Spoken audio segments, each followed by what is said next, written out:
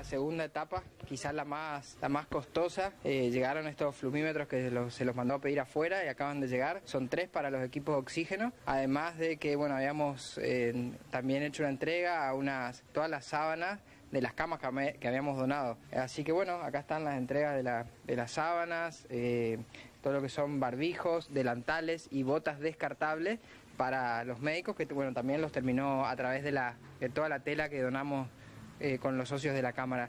Así que bueno, sumamente contentos de esta segunda etapa, eh, con respuestas positivas desde el punto de vista de que todavía no hay eh, grandes infectados que, sean de acá de, la ciudad, sino que son los que vinieron de afuera, los dos.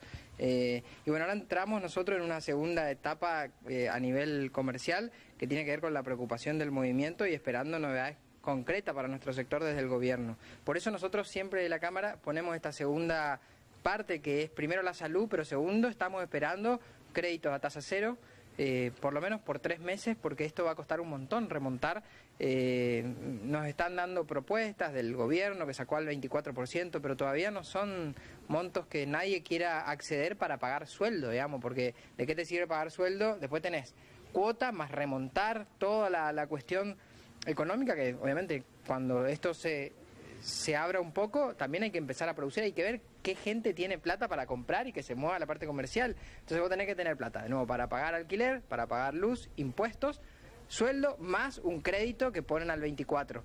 Yo no digo que esté mal, lo que digo es que realmente tiene que ser a tasa cero y tiene que ser ya. Resulta que tenemos una socia que necesita, ella tiene en su cuenta corriente el dinero para pagar los sueldos. Hace dos semanas que, está haciendo la gestión a través de la Cámara de Comercio, el, gerente del Banco del Chaco, y no hay posibilidad porque el sistema, según el gerente, no lo habilita para, para poder extraer estos fondos, solamente está para la parte de jubilaciones. Esta persona no puede sacar que tiene el dinero en su cuenta y no puede. Intentó una vez, intentó dos veces.